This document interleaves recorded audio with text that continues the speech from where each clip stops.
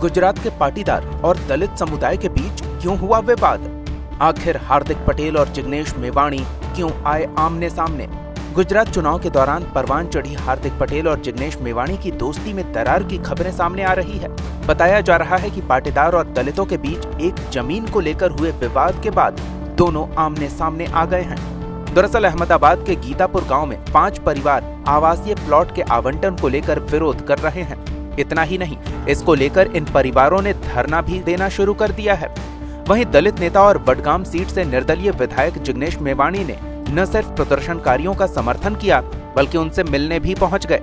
उधर इलाके के पाटीदार समाज ने भी इसे ग्राम पंचायत की ज़मीन बताते हुए दलितों को देने का विरोध कर दिया। इतना ही नहीं, इसके खिलाफ पाटीदार भी धरने पर बैठ गए, जिसका समर्थन पाटीदार नेता हार्दिक पटेल ने कर दिया। पूरे मामले पर ट्वीट करते हुए हार्दिक ने लिखा अहमदाबाद के गीतापुर गाँव में गुंडों ने गाँव की ज़मीन पर कब्जा कर लिया, जिसका विरोध गाँव के लोगों ने किया, लेकिन प्रशासन ने ध्यान नहीं दिया।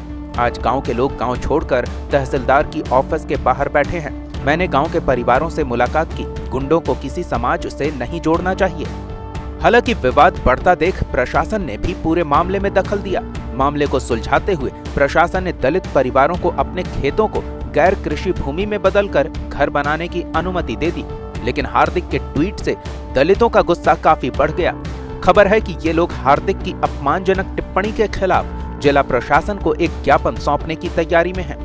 दलितों का आरोप है कि एक तरफ़ हार्दिक सामाजिक एकता की बात करते हैं, वहीं दूसरी तरफ़ दलितों को गुंडा बताते हैं।